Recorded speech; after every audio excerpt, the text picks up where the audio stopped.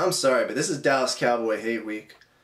I can't I can't get my mind going about anything else right now because this game is just so much on my mind.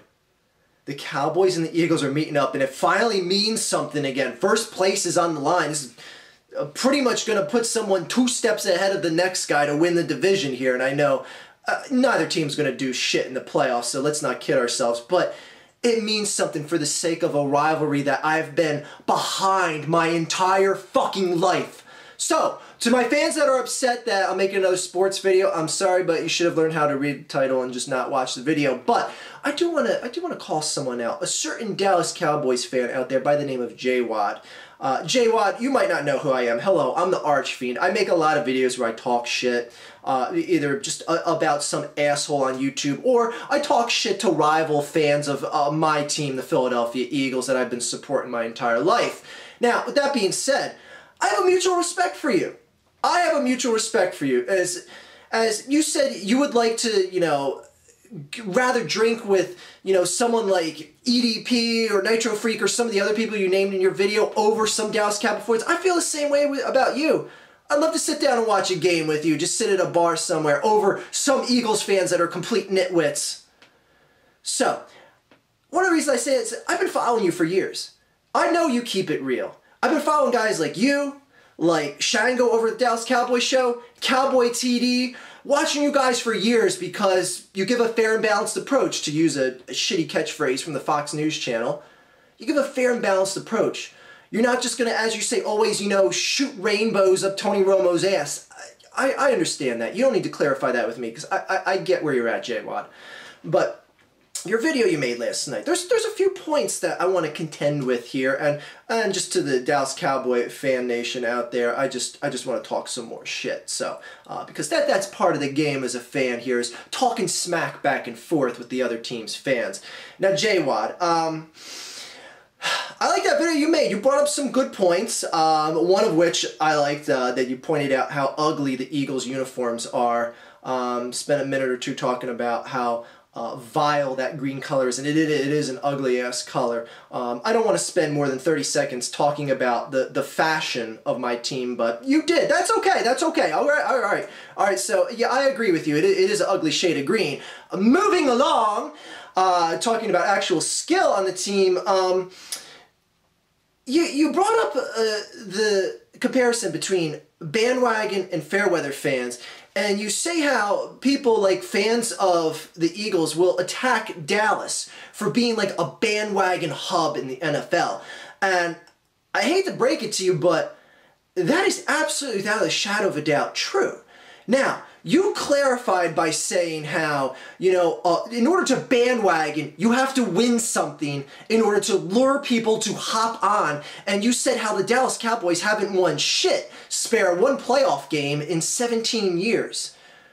Well, J Wad, I hate to break it to you, but when I talk to Dallas Cowboy fans, like up here in the Northeast, I've been living for almost 30 years of my life. You talk to people in DC, in New York, in Philly, that are repping a star, repping a Dallas jersey, repping anything like that, signifying they're a Cowboys fan. And you go up to them, you go, what part of Texas you from? Texas? I'm from Poughkeepsie, New York. What? What? And then you ask deeper. It's like, why, why, why you, why'd you latch on this team? It's like, well, you know, a few years ago, the, the Giants weren't doing that good, or the, the Redskins weren't doing that good. I wasn't really a fan, but I wanted to be a fan of a winning franchise. I wanted to be a fan of America's team. I wanted to be a fan of a, a team that's won five rings. You see, J Wad, now your definition of bandwagoning may differ from mine, but when I see fans like that living thousands of miles away from Dallas, Texas, and they're jumping on based on the legacy of your team, then I'm sorry, I consider that bandwagoning. Now, you might disagree with that, and that's fine, but me and many Eagles fans, when we see someone repping a Dallas Star and they don't even know what the capital of Texas is, I'm sorry, we see that as bandwagoning. Now, it's not to say you can't be born and raised, you know, a Dallas fan from the get-go, but when you talk to a lot of these people, you realize that they're just, oh, they're just latching onto this team because they've had success in the past. That's bandwagoning. That's because they won something big, J Wad. And I'm sorry, that happens all over the country. Happens with the Steelers, happens with the 49ers, and it happens with the Dallas Cowboys. Now, you go up to some of those same fans and you just you just realize that there's there's just a lot of nitwits in your fan base. I'm sorry, there there there really is. Cause you, you ask you I, like you ask these people like cockroaches.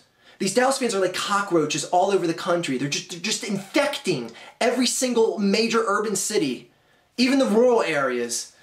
You talk to them. You go, oh, that's nice. That's a nice Emmitt Smith jersey. It's, it's, they tell me, could you could you answer me real quick? Could you name could you name one team that the Dallas Cowboys beat in the Super Bowl? And you'll get out of them. Well, oh, surely at some point they had to beat that AFC powerhouse Patriots, right? What? What?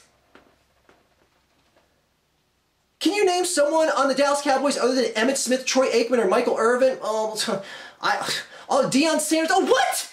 He was there for the last Super Bowl they won. That's the best you can come up with? What? Anyways, um, you got a lot of nitwits in your fan base, and many of which have come on in the past 17 years, and they, and they want to start talking smack. They want to start talking smack to someone like me. That last video I made a couple days ago, uh, Wednesday to be exact, I, am getting a lot of like, you know, like the 15 year old to 17 year old fans, you know, the fans that have watched nothing but failure from the Dallas Cowboys. And I'm not saying that my team has had an, a mountain of success, but if you want to compare what my team has done, the Philadelphia Eagles in the past 17 years, compared to what the Cowboys have done, and some little pissant's gonna come on my channel start talking shit about how much my franchise sucks, Motherfucker, what have you seen your team do in the past 15 to 17 years of your lifetime? Your entire lifetime has been watching guys like Quincy Carter come, Jon Kitna come through, Ryan Leaf come through, Tony Choco Romo come through. How many playoff teams have you guys, you you Dallas Cowboy fans that are 15 to 17 year olds, how many how many how many how many playoff wins have you guys seen? What? Huh? Guess what? That's the same amount of wins that Tim Tebow fans have seen in the playoffs. One. Tim Tebow in his first year of the playoffs has as many playoff wins as Tony Choco Romo does. Another thing, J Wad, um, you wanted to point out, and by that whole last little section I read, that was more to the Dallas fans, not necessarily to you, J Wad. Um, I, I, I know you know your shit about the Cowboys. I know you know more than just Emmitt Smith, Michael Irvin, and Troy Aikman being on the last dynasty of the Cowboys. Now, another point that you, you wanted to bring up, J Wad, and see if I can eloquently explain myself here, is you talk about how no one fears the Eagles. You said, yo, fuck the Eagles. We, ain't afraid of you. what? Now, okay, again, I'm not saying my team is hot shit, but who the fuck fears the Dallas Cowboys? My God.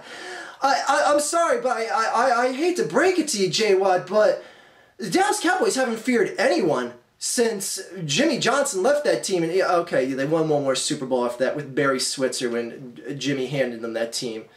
But ever since Aikman left, or ever since Aikman retired, Irvin busted his neck up in Philadelphia, which, by the way, was a classless act that the fans cheered at Philadelphia. I'm not going to lie about that, and I don't doubt Bobby Taylor said what you said he said. Um, no one no one's feared the Dallas Cowboys. And that's the thing. Like uh, being a fan of this rivalry for all these years, I can remember what it was like being a kid, being a teenager, seeing Dallas come in and kick the shit out of Philly. Go on, beat us in the playoffs.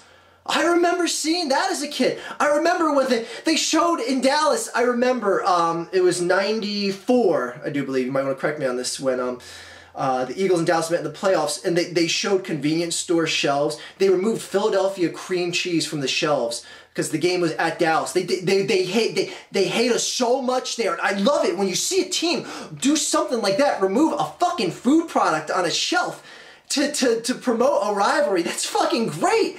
I miss those days, man. That's when this rivalry really meant something, man. Fucking hell, the past 17 years, I, I've been I've been watching Donovan bust that fucking team up so many times, win the NFC East so many times, seen Tony, Ro- Tony Romo choke so many times, seen the quarterback carousel go through Dallas so many times. Past 17 years, this rivalry has fucking sucked. So you want to talk about J. Wad? You want to talk about how no one fears the, the, the Eagles? Who in the league has feared Dallas in over 17 years? My God! Holy shit! Anyway, um, again, Wad, I like your videos. I'm gonna keep watching your videos because again, you keep it real. You keep it real. You're the type of fan I would sit down at a bar and have a drink with, even though you're repping the rival colors. But man, the nitwits and the bandwagon in your fan base, man, cockroaches. Just filthy fucking cockroaches all over the nation, repping that Dallas Star. Makes me want to fucking puke. Then you got even got um, one of one of the Dallas Nitwit fans, and I'll even I'll even put up his comment on the screen. This motherfucker comes out there. He's leaving several comments on my channel, and, and look what this motherfucker says. oh really? The Denver Broncos put up 52 points on the Eagles. Let me let me let me do this J Wad style. Let me do J Wad style. Um, listen here, you chud and chudettes that are trying to break apart my team and insult me by saying Denver put up 52 points. Motherfuckers, the same Denver Broncos came into Dallas the next week and put up 51 points on you. At least make a point that doesn't make yourself look as equal as fucking chuds for an example and then usually sit back and tap your fingers. I see. I watch your videos, J Wad. I watch your videos. Anyway, um, to all you Dallas chud and chudettes that are going to be like barking at me about any of the games yet that the Eagles have played. Uh, first of all, some of you guys are saying how we almost lost to the, the 0-6 Tampa Bay Buccaneers. Number one, they're 0-5. Learn about a little something called the bye week in the NFL before you act like you know about football. Um, uh, almost blowing it to the to the Giants. That's another thing I got up. I'm like, fucking, what did you guys do to the Giants in Week One? You barely won that game. What I'm getting at is neither of these teams have much to brag about. Granted, I think the Dallas Cowboys have been a hair more successful in that at least they scored up with the Broncos, whereas Philly didn't. But uh, Dallas ain't exactly a clear cut ass stomper coming into this game. So, to all you Dallas Cockroach fans that are repping that star and don't know shit about your franchise, just want to let you know that the real Dallas Cowboy fans are laughing at you guys. And to all the nitwits in the in the Eagles uh, as well, um, you know, don't start talking smack to you know about the game. Now I know people are gonna be like, "Well, what do you know about the game?" Shut the fuck up. I've been repping this green ever since I was born. At least I hope my parents had me in the green. Anyway, J-Wad, Can't wait to see your reaction video to what whatever the Eagles do to you because I know either way, Dallas win or Dallas lost, you're going to make an entertaining video out of this, and that's why I follow you. So, anyways, J-Wad, just want to end this with a little ounce of respect shoved your way. Um, I know EDP is going to make an equally entertaining video, win or loss, for the Eagles here, so, and I'm going to do the same.